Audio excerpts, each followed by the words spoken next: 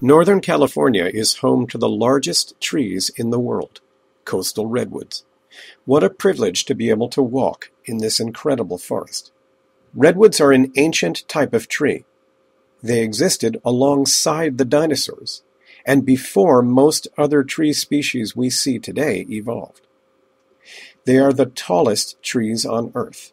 Some grow twice the size of other tree species. Redwoods also grow to be old. Some of these trees were seedlings hundreds of years before Columbus set sail.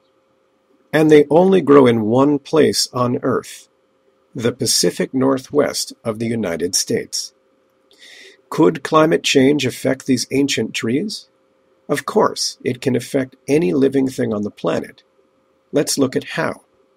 These trees live along the Pacific coast of the United States, and they are immense. They can weigh more than a million pounds when fully grown. Can you imagine how much water these giant trees drink? Well, here's the interesting part.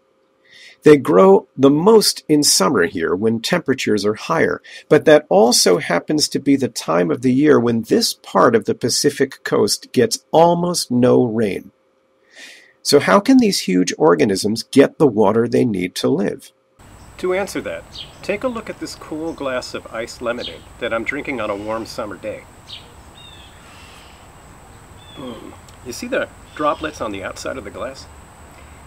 They didn't come from inside the glass. Warm summer air condenses on the cool glass.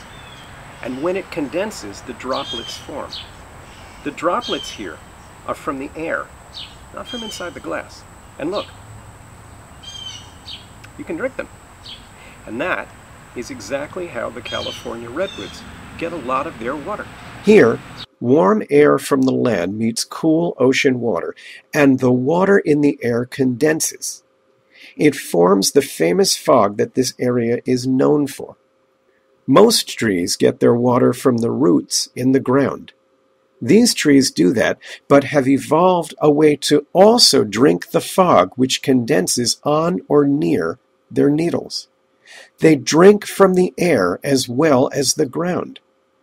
They also drip water, which condenses on them down to the ground to help nourish younger trees. So, how could climate change affect these trees? If the ocean gets warmer, will the fog still form? Or perhaps it will and perhaps it won't. Perhaps it will in some of these areas where the trees grow, and it won't in others. We simply don't know. If the area continues to get fog, perhaps the trees will be okay. If the fog doesn't form, the rain alone here will not support these immense trees, and this ancient and beautiful forest could die. The risk is there. The risk is real, and the decision is ours to make.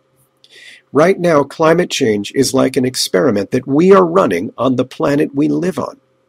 We don't always know what the outcome will be, and by the time we find out, it may be too late for trees like these redwoods.